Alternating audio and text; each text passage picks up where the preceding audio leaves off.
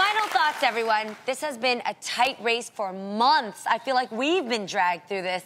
Early voting broke records in some states. People Yes. want to have a voice now more than ever. That's the best news about this whole entire process. What are other ways to stay involved? That's my, my goal right now. Looking forward, what, what do we do now moving forward as a country? Well, very first thing you can do is tomorrow Google who's your state legislator, Yep. who's your school board member, who's your city councilman, who's your county commissioner, and you can call their office and you can request a meeting and you can start to get to know the people who directly affect your life on a daily basis. Yeah. Right, That's the first thing you can do. And Yes.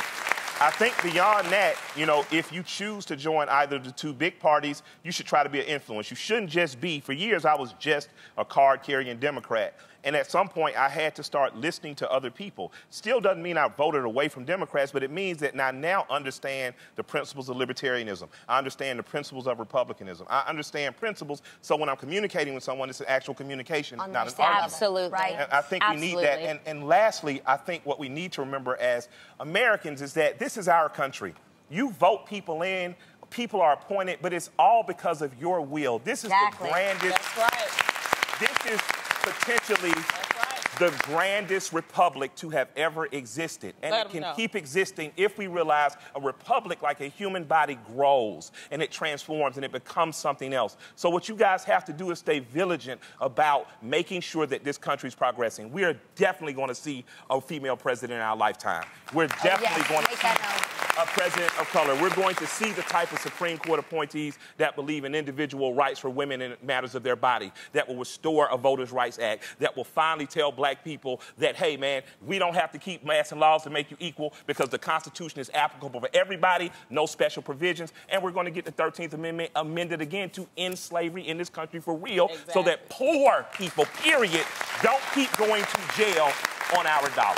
Well, and you know, most importantly, we need to respect each other. Yes. Okay, it's gonna be rough, but we gotta It is. respect each other. Yes. Yeah, Yes. booing, the getting upset. You know, I know it's hard. Yes. But you know what, y'all? It's love right up Yes, in here. please There's don't something forget. else you could do that's better than booing. Yes, and don't forget, united we stand, divided we fall. Yes. This Absolutely. this moment, that's where we lose. And if you're looking for ways to get involved in your community, you can also check out nationalservice.gov. There are plenty of projects to choose from, including working with students at local schools and supporting veterans and military families. Yes. Love that. You know, Shouts out to my mama.